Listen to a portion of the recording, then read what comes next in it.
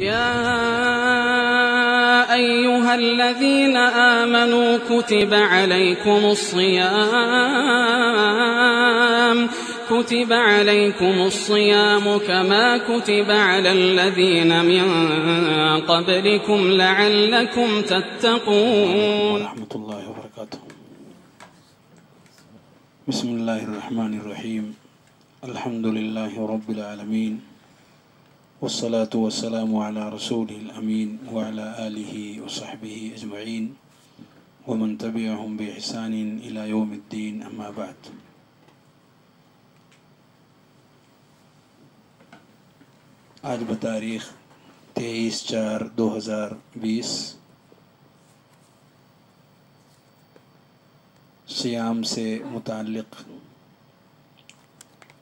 दर्स रखा गया है। ये दूसरा हलका है। इससे पहले एक दर्स जो सियाम ही से मुतल्लिक़ था, पिछले हफ़्ते में हुआ, जो शाबान के रोज़े से मुतल्लिक़ रहा। आज के इस दर्स में इंशा सियाम का माना और मफहूम, फ़र्जियत और कुछ फ़ज़ाइल वगैरह से मुतल्लिक़ इंशा गुफ्तु होगी। रब करीम से दुआ है कि हम तमाम को अल्लाह रब्बुल आलमीन सेहत व आफ़ियत के साथ इस आज़ीम शान बरकत वाले महीने तक पहुँचने और उससे कमा हक़ हो ज़्यादा से ज़्यादा इबादत और ताआत के ज़रिए से मुस्तफ़ होने की तोफ़ी बख्शे।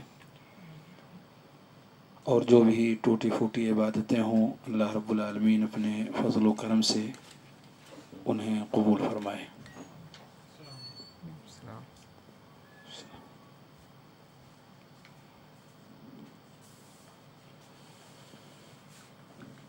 सियाम से मुतल्लिक़ सबसे पहली बात जो जहन में आती है, वो ये कि सियाम का माना और मफहूम क्या है। सियाम अरबी ज़ुबान में इमसाक को कहा जाता है। असयाम वल इमसाक यानी रोक लेना। किस चीज़ से रोक लेना?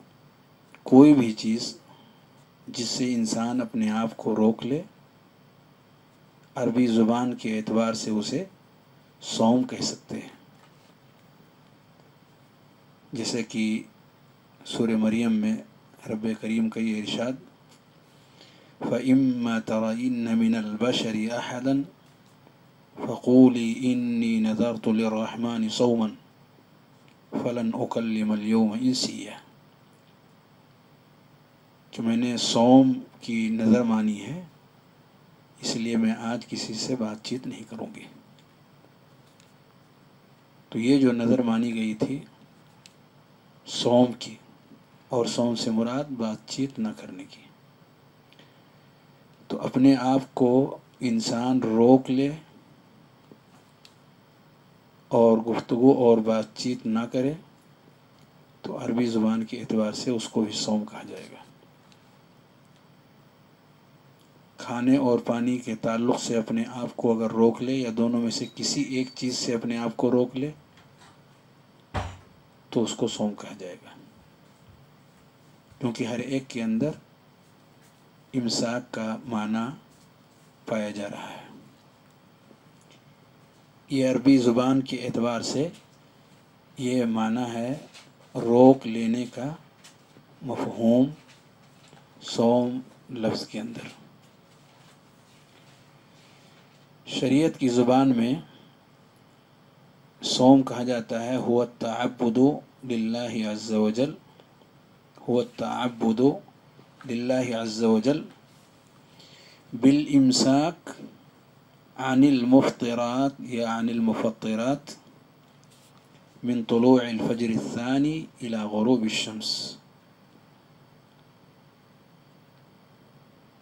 ये सोम का शरई माना और मफहूम है तो सोम किसे कहते हैं शरीयत की ज़ुबान में हुआ तअब्बुदुल्लाह अज़्ज़ा वजल बिल इमसाक अनिल मुफत्तरात इबादत की नीयत से, इबादत के इरादे से हर उस चीज़ से अपने आप को रोक लेना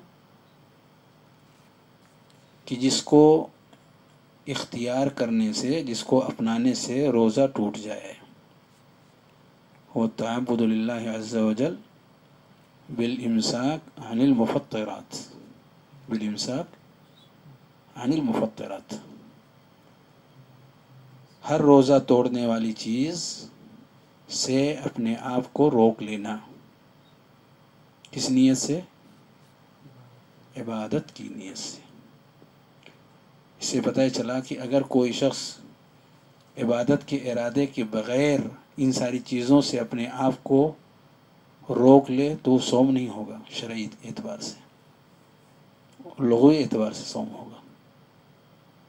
अल्लाह रब्बुल आलमीन की बारगाह में बायस अजर तब होगा जब उसकी रज़ा के लिए इंसान इबादत के तौर पर अपने आप को इन चीज़ों से रोक ले कि जिनके इख्तियार करने से, जिनके अपनाने से रोज़ा टूट जाए।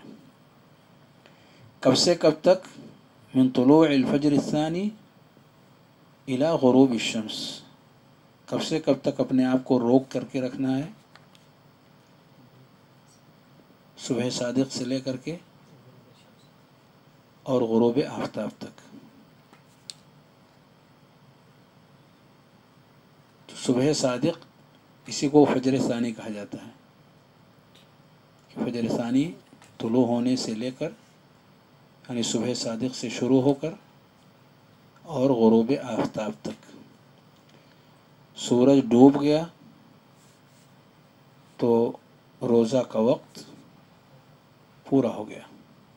अब हमें हर वो चीज़ें जो हमने इबादत की गरज से, उन पर रोक लगाई हुई थी, बैंड लगाया हुआ था, अब उनकी इजाज़त हमें दे दी गई। अब हम खा भी सकते हैं, पी भी सकते हैं, और साथ साथ मियाँ बीवी के दरमियान के जो ताल्लुक़ात हैं, ये भी दोनों के दरमियान कायम कर सकते हैं। ये मफहूम है शरीयत की ज़ुबान में। अगर कोई शख्स सूरज निकलने के बाद से रोज़ा शुरू करे और सूरज डूबने तक जारी रखे तो ये शरीय एतबार से सोम होगा हुँ? हम्म? होगा नहीं होगा फ़र्ज़ करें कि एक शख्स आता है घर पर और उस वक्त सूरज तुलो हो चुका है यानी सुबह सादिक के बाद घर पर पहुँचता है। अभी तक वो मुसाफिर था। अभी तक वो क्या था? वो अपने घर पर कब पहुँचता है?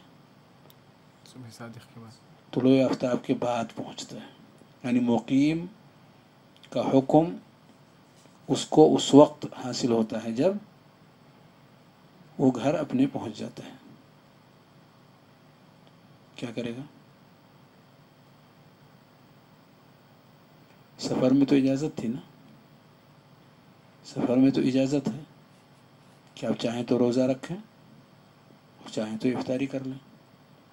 लेकिन ये शख्स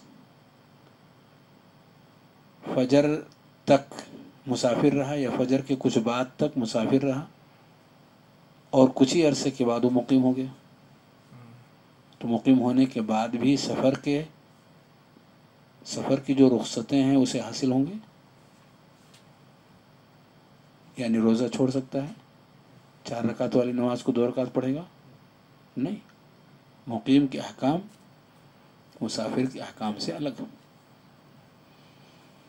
अब रोज़े का क्या होगा?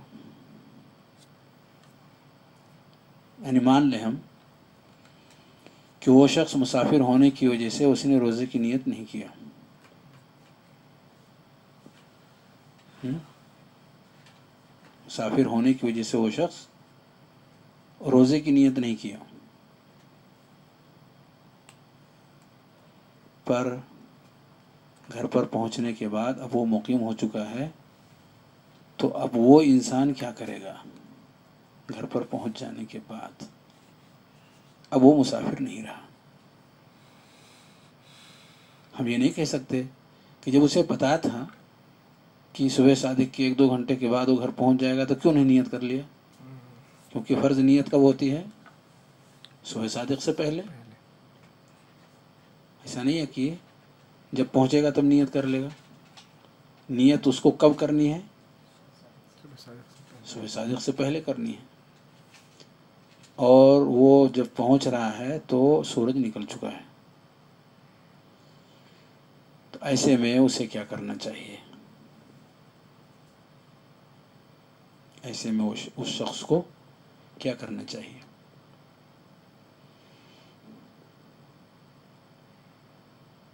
इसी तरीके से एक औरत है वो रोज़ा नहीं रखती है। वे क्यों नहीं रखती? कहा हमारे पास उज़र है। ठीक? उज़र है नहीं रखें। दो किस्म का उज़र होता है हैद और निफास। लेकिन सुबह सादिक के ख़त्म होने के बाद सूरज निकलते निकलते कुछ पहले कुछ बाद वो पाक हो जाती है। क्या हो जाती है। पाक हो जाती है। क्या करेगी अब वो? उसे क्या करना चाहिए? रोज़ा रखेगी? या वो मुसाफिर जो अब मुकीम हो चुका है, रोज़ा रखेगा? जो घर पर आ चुका है। थोड़ा सा गौर कीजिए। और कुछ देर बाद पलटेंगे। इस तरह के मसाइल इंशाल्लाह आते रहेंगे। और इन मसाइल के हल के लिए गुफ्तगु चलती रहेगी। मैंने इसलिए इसको आपके बीच में छोड़ा है ताकि आप गौर करें कि इस तरह की चीज़ें आती हैं। तो ये शरई एतबार से सियाम होगा कि अगर इंसान सुबह सादिक से गुरूब आफ्ताब तक इबादत के इरादे से उन तमाम चीज़ों से अपने आप को रोके कि जिनके इख्तियार करने से उसका रोज़ा टूट जाता है अगर वो ऐसा करने में कामयाब होता है तो उस शख्स को कहा जाएगा कि उसने सियाम रखा। उसने रोज़ा रखा। वो शख्स साइम कहलाएगा। ये माना और मफहम है सियाम का लगवी और शरई एतबार से। आइए, माना और मफहूम को समझ लेने के बाद हम इसके बाद के मरहले की तरफ़ चलें कि सियाम का हुक्म क्या है।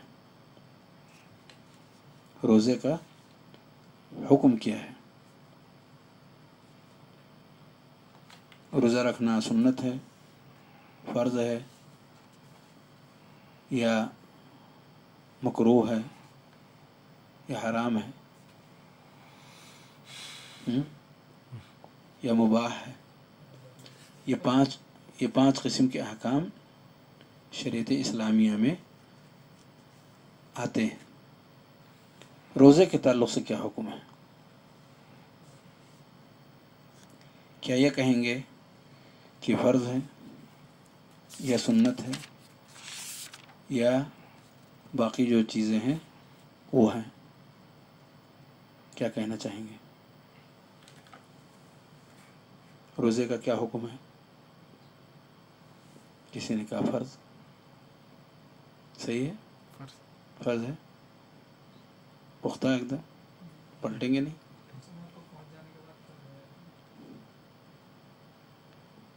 फ़र्ज़ है? यकीनी तौर पर। पाँचों ही अहकाम इस रोज़े पर तारी होते हैं। ये पाँचों अहकाम जो अभी मैंने ज़िक्र किया। फ़र्ज़, सुन्नत, हराम मकरू और मुबाह। ये पाँचों ही अहकाम उसके ऊपर आते हैं। आपने जो कहा वो भी ठीक है। वो भी ठीक है। पूरे तौर पर सही नहीं है, लेकिन उसको ठीक मान लेते हैं। क्यों ऐसा दब करके कहा जा रहा है? कि वो भी ठीक है। क्योंकि जो चीज़ फ़र्ज़ है, वो सियाम रमज़ान फ़र्ज़ है। रोज़ा जो फ़र्ज़ है, वो रमज़ान का रोज़ा फ़र्ज़ है। आप आपसे पूछा जा रहा है, रोज़े का क्या हुक्म है? आप कह रहे हैं फ़र्ज़ है। आप सोच रहे थे शायद रमज़ान के बारे में पूछ रहे हैं। आपके जहन में क्या सोच चल रही है? पूछने वाले की ज़ुबान पर अगर नहीं है तो उसके मुकल्लफ तो हम नहीं है कि आप क्या सोच रहे हैं। आपको तो बस इस बात का ख्याल करना है कि जो कुछ हमारे सामने आ रहा है उसके ताल्लुक से हमें गौर करना चाहिए। जो कुछ भी हमारे सामने आ रहा है उसके ताल्लुक से हमें गौर करने की ज़रूरत है। तो इसी हवाले से अभी हमें गौर करना है। रमज़ान मुबारक का रोज़ा फ़र्ज़ कुरान मजीद की मशहूर आयत करीमा सूर बकरा, आयत नंबर एक सौ तिरासी और एक सौ पचासी। अल्लाह रब्बुल ने फरमाया, या अय्युहल्लज़ीना आमनु कमा कुतिबा अलल्लज़ीना मिन ईमान वालो रोज़ा तुम्हारे ऊपर फ़र्ज़ कर दिया गया जैसे कि तुमसे पहले के लोगों पर फ़र्ज़ किया गया। तो ये आयत करीमा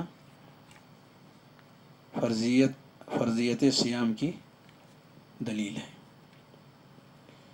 उसी के आगे अल्लाह रब्बुल आलमीन ने फरमाया, शहर अल्लज़ी शहर अल्लज़ी उनज़िल फ़ीहि अल-क़ुरआन हुदल लिन्नास वबयिनात मिनल हुदा वल आगे फरमाया फमन शहिद मिनकुम अश-शहरा फलियसुम जिस शख्स को रमज़ान मुबारक का महीना मिल जाए जो हाजिर हो और हाजिर होने के साथ साथ उसे ये महीना मिल रहा हो पा रहा हो इस महीने को फलियसुम हो तो अल्लाह रब्बुल आलमीन ने कहा कि इस महीने के रोज़े को रखना होगा तो अम्र के सेगे के साथ, उस शख्स को रब करीम ने हुक्म दिया रोज़ा रखने का, जो उस महीने को हालत इक़ामत में पा रहा है। सही बुखारी और मुस्लिम की मशहूर रिवायत अब्दुल्ला बिन उमर अन्हुमा से अला खम्स। इस्लाम की बुनियाद पाँच चीज़ों पर शहादत अल्ला इलाहा इल्लल्लाह व अन्न मुहम्मद रसूलुल्लाह व इक़ामुस्सलाह व ईताउज़्ज़का व सौम रमज़ान व हज बैतिल्लाहिल हराम इस्लाम की बुनियाद पाँच चीज़ों पे है और उनमें एक रमज़ान मुबारक का रोज़ा है। तो ये बुनियाद इस्लाम की इस्लाम की बुनियादों में से एक है। सियाम इस्लाम की बुनियादों में से एक अगर ये नहीं है तो उसकी बुनियाद मुतासर होगी। इस्लाम की बुनियाद ही मुतासर होगी। और ये इस्लाम के अरकान में से, पाँच अरकान में से एक अजीम रुकन है, जिस पर मुसलमानों का इजमा भी है। एक रिवायत में नबी करीम वसल्लम ने फरमाया इदारा तुमो हो फसोमो। इदारा तुमो हो जब इस महीने की चाँद को देखो तो रोज़ा रखो। इन दलाइल से पता चला कि रमज़ान मुबारक का रोज़ा फ़र्द है। रमज़ान मुबारक का रोज़ा फ़र्द है। अब ये देखना है कि रमज़ान मुबारक का रोज़ा फ़र्द है अभी फिर पलट करके इस तरफ़ आएँगे दोबारा इन कि किसके ऊपर फ़र्ज़ है। और साथ ही साथ फरीज़े वाले रोज़ों में से नज़र का रोज़ा भी है। नज़र का रोज़ा। किसी ने नज़र मानी? कि मैं इतने दिन का रोज़ा रखूँ। तो उतने दिन का रोज़ा रखना उसके ऊपर फ़र्ज़ है। कफ़ारे के तौर पर किसी को रोज़ा रखने की बात कही तो अगर कफ़ारे के तौर पर रोज़ा रखने की बात आई हुई है तो उतने दिन उसे रोज़ा रखना ज़रूरी होगा। फ़र्ज़। जी। ये है फ़र्द रोज़ों की पहचान। तो रमज़ान मुबारक का रोज़ा नज़र का रोज़ा और कफ़ारे का रोज़ा। कफ़ारे का रोज़ा जिसमें इख्तियार ना हो। क्योंकि कुछ कफ़ारे ऐसे हैं कि जिसमें इख्तियार वाली बात भी आई है।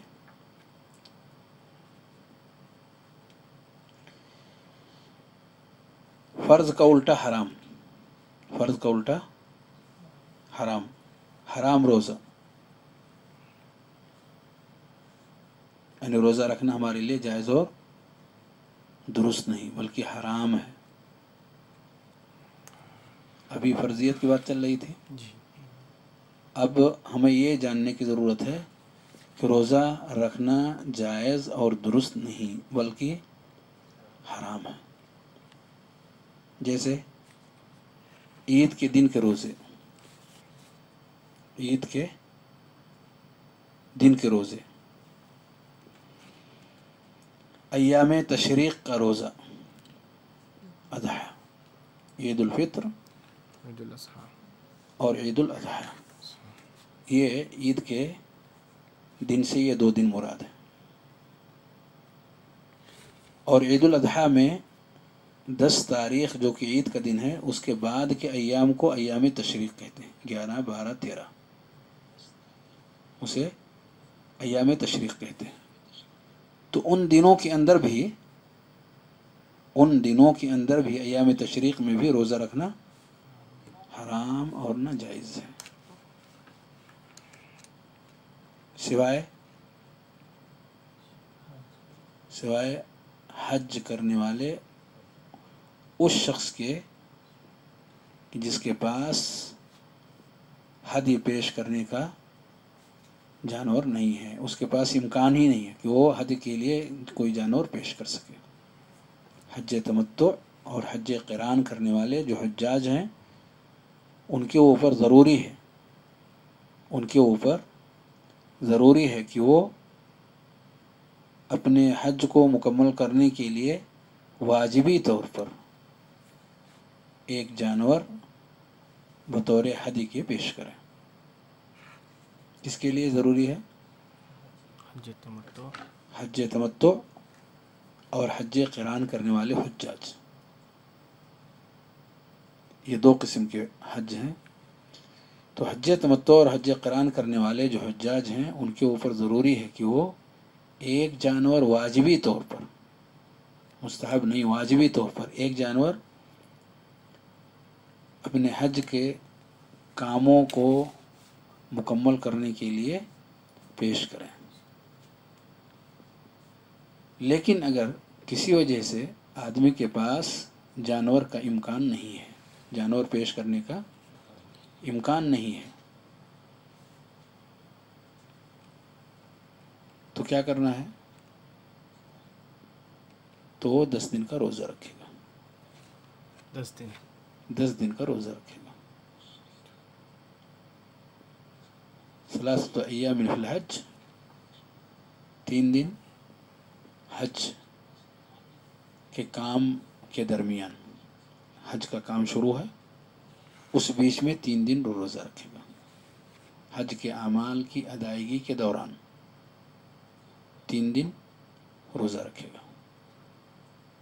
और सात दिन जब हज करके अपने घर वापस आएगा तो सात दिन घर पे रखेगा। तो सात और तीन मिला के कितने दिन हो गए? वो सब आतीन इधारा जातुम तिल का आशरतुल कामिला। ये दस दिन रोज़े रखने हैं उस शख्स को जो हज तमत्तो और हज करान कर रहा है और हदी का जानवर जो उसे वाजिबी तौर पर पेश करना था, पेश करने से कासिर रहा। तो अब वो शख्स तीन दिन रोज़े हज के दरमियान रखेगा और सात दिन अपने घर वापस पलटने के बाद रखकर कुल दस दिन का रोज़ा मुकम्मल करेगा। वो जो तीन दिन हज के दौरान करने की इजाज़त है या करने करने की ज़रूरत है, वो हज यानी नौवीं तारीख से पहले या तो रख ले, दस तारीख से पहले, नौ तारीख से पहले, और या फिर दस तारीख के बाद। दस तारीख को तो नहीं रखेगा, नौ तारीख को भी नहीं रखेगा। उसके बाद वो रख ले।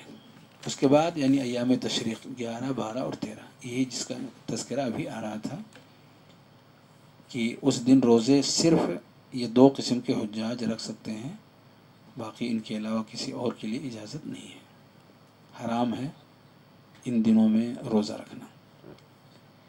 इसी तरीके से हराम रोज़ों में से वो रोज़ा भी है कि जो हालत हैद और निफास में औरतें रोज़ा रखें। यानी उस हालत में रोज़ा औरत नहीं रख सकती, नमाज़ भी नहीं पड़ेगी और अगर करती है तो ऐसा करना उसके लिए जायज़ और दुरुस्त नहीं है।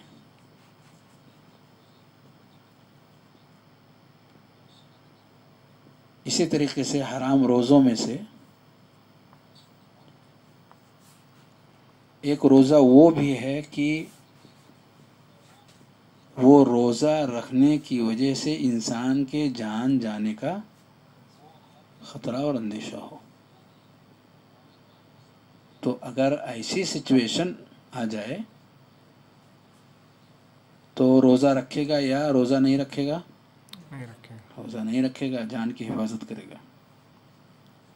रोज़ा रखना उसके लिए जायज़ नहीं है। नबी वसल्लम ने कहा उलाइकलसात उलाइकलसात ये नाफरमान लोग हैं तो रोज़ा रखना उस शख्स के लिए जायज़ नहीं होगा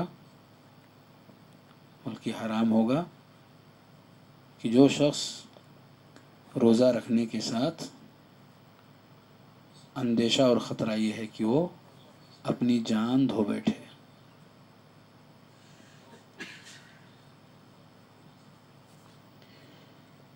इसी तरीके से वो शख्स जो रोज़ा रख कर वो शख्स जो रोज़ा रखते हुए किसी मासूम की जान बचाने पर कादिर ना हो, वो शख्स जो रोज़ा रखते हुए किसी मासूम की जान बचाने पर कादिर ना हो। क्या करेगा वो?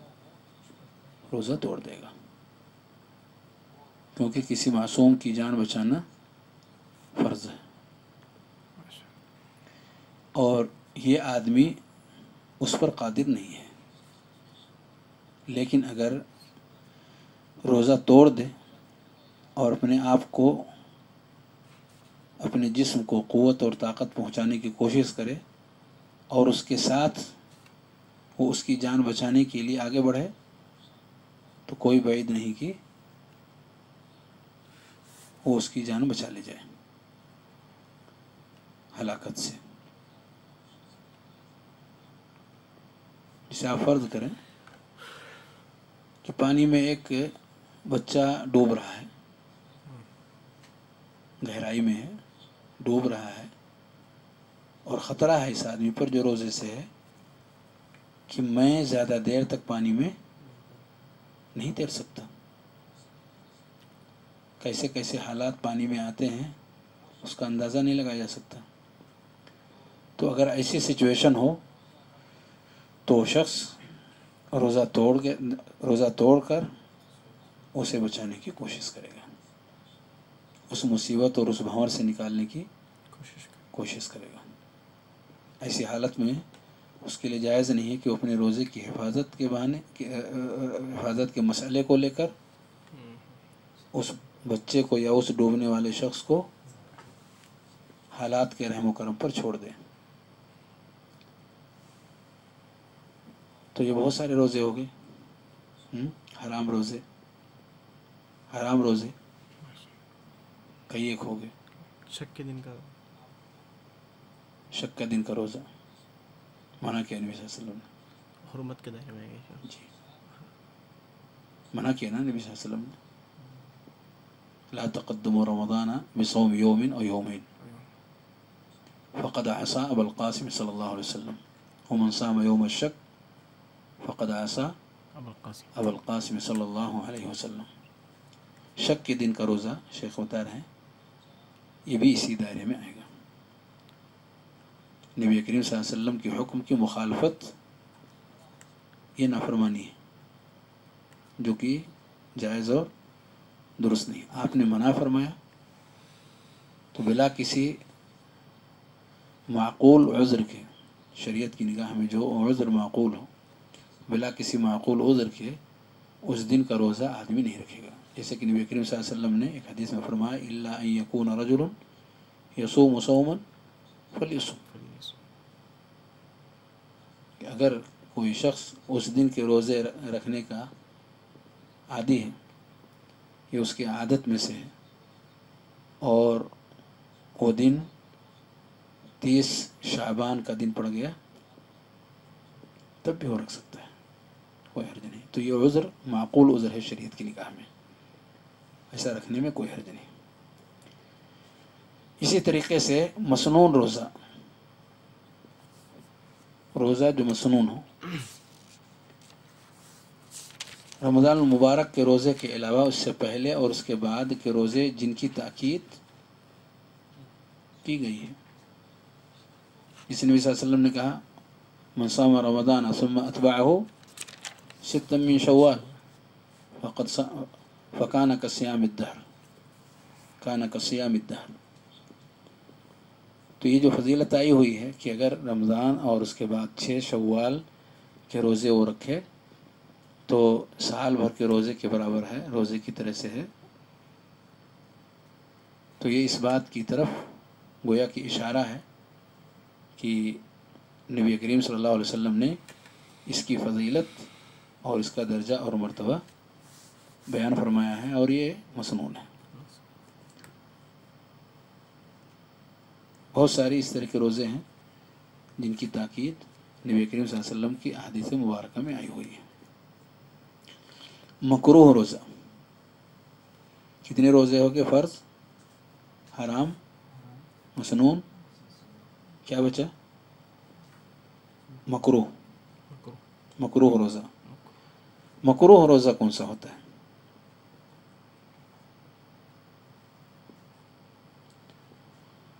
मुसाफिर या मरीज़ दोनों में से हर एक को इजाज़त है रोज़ा रखने या न रखने की। दोनों में से हर एक को शरीयत ने इजाज़त दी हुई है। अगर वो ऐसी सिचुएशन में है कि रोज़ा रख कर अपने आप को मशक्क़त में डाल देगा रोज़ा रख कर अपने आप को मशक्क़त। में डाल रहा है। फ़र्क है मशक्क़त और ज़रर में। आगे इंशाल्लाह इसका बयान आएगा। तो अपने आप को तकलीफ़ में डाल रहा है मशक्क़त में डाल रहा है। यानी बड़ी परेशानी के बाद वो रोज़ा पूरा कर रहा है। तो वो रोज़ा उसके हक़ में मकरू है। और वो सहाबी जिन्होंने कहा अल्लाह के नबी सल्लल्लाहु अलैहि वसल्लम मैं हालत सफ़र में मैं हालत सफ़र में अक्सर रहता हूँ। अच्छा। मैं रोज़ा रखूँ या ना रखूँ? दोनों ही हालतें मेरे लिए एक जैसी दोनों ही हालतें मेरे लिए एक जैसी हैं। कोई मशक्क़त नहीं, कोई परेशानी नहीं, कोई दुख नहीं, कोई तकलीफ़ नहीं। लेकिन मेरा मामला यह है कि मैं महीने के अक्सर अयाम में मैं सफरी में होता हूँ। कारोबार ही ऐसा होगा काम धाम ही ऐसा होगा।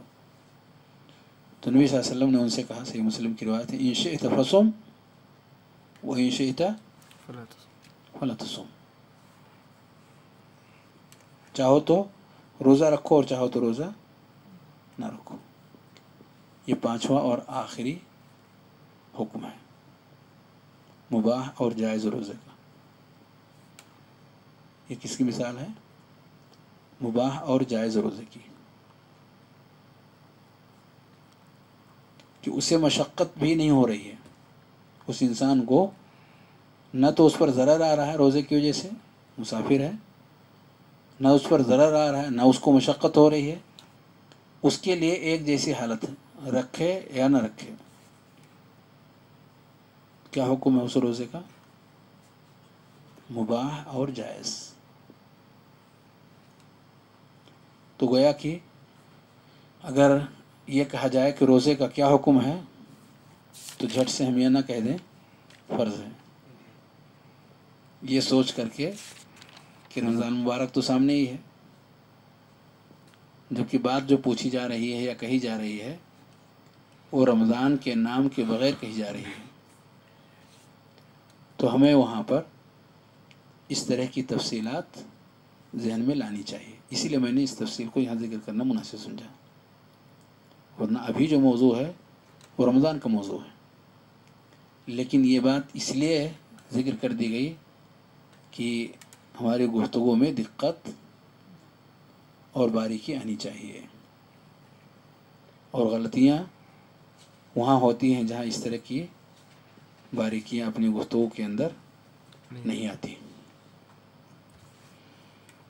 ये हो गया हुक्म। सियाम का माना और मफहम। सियाम का हुक्म। वो तो माना मफहम तो हो गया लगी और शरीबान। और सियाम का हुक्म। अब सियाम में, चाहे सियाम रमज़ान हो या रमज़ान के अलावा के रोज़े हों सब का हुक्म यहाँ ज़िक्र कर